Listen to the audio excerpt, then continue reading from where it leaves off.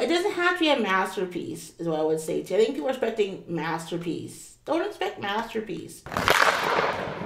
What is your trick? Because uh, give me some advice now. Give me some advice on writing books. What is your trick to get it done besides just that focus? What was one thing you could tell another author that will help them get over the edge and get their book finished because maybe they've been working on it for a while?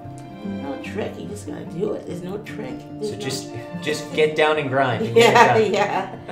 Because people think it's instant and the books don't write themselves. So you just gotta put in the effort. And I find a lot of people don't want to put in the effort. They go watch TV. They want a book, but they don't want to put in and what it they Hang out with friends and they're doing. Well, you're not writing. So it's just like you gotta write the book. And you know, it doesn't have to be a masterpiece, is what I would say. To. I think people are expecting masterpiece. Don't expect masterpiece.